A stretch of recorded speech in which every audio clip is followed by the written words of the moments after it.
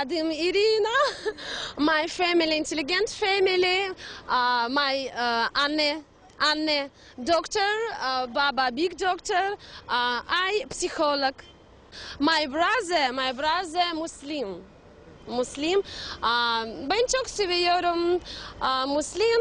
Uh, sonra maybe I Muslim.